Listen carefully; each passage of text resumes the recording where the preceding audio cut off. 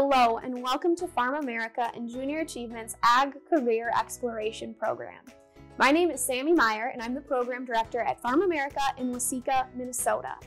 Today, you are going to get the chance to dive a little bit deeper into careers in agriculture and all of the opportunities that they have in store for you and how they go far beyond the big red barn.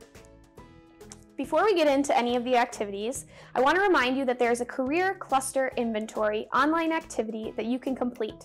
You may have already done this and recorded your answers, and you maybe have even completed a few of the activities on our online website format. If you have, great. We're so excited to hear that, and we hope that you have a little bit of an idea of what interests you in your future careers. Included in your kits today was a Minnesota Career Wheel. The career wheel is divided into six different career fields.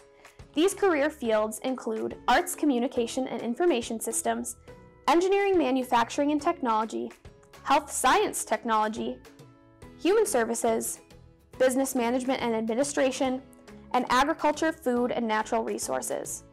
Within these six career fields, you will see individual career pathways that you might be interested in. Some of these pathways require two years or four year degrees additional training, and some even allow you to go directly into the workforce. The truth is, all of these career fields, clusters, and pathways can relate to agriculture in some way or another. For example, seed companies like DuPont and Syngenta need marketing managers to ensure they send an accurate and enticing message to potential consumers. These are just a few of the careers that may not necessarily be listed in the agriculture, food, and natural resources pathway, but can connect to agriculture in unexpected ways regardless. Once you've completed your activity, we'll provide additional links, resources, and opportunities for you to explore more about careers in agriculture. Chances are, if you find what you love to do, you can find it in agriculture. Today, you are going to put yourself in the shoes of an agricultural engineer.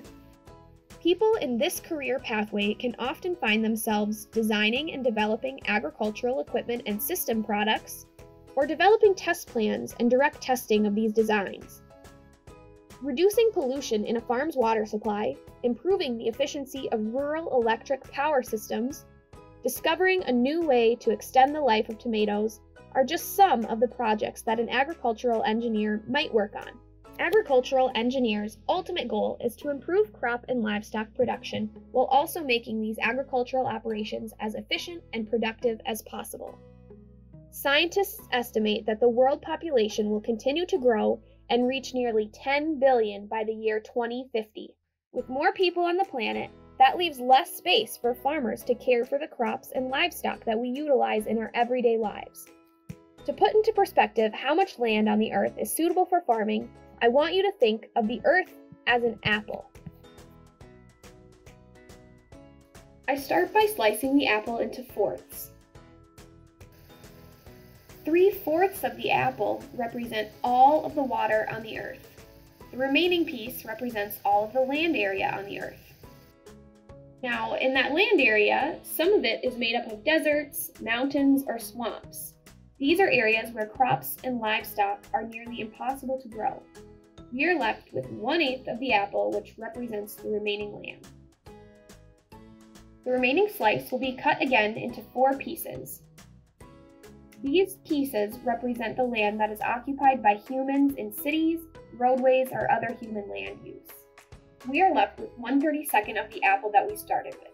If we peel back the skin of the apple representing the surface soil that is less than 5 feet deep, this is the land left that is able to be used for farming or agricultural production. We call this arable land. Provided with this visual, you can see how it is important to protect the remaining land and use it as efficiently and productively as possible. While the world's population will continue to expand, we can expect that this portion of land will continue to shrink. How can farmers and agricultural engineers work together to solve this problem? Using the materials, instructions, and engineering design challenge provided, think like an agricultural engineer.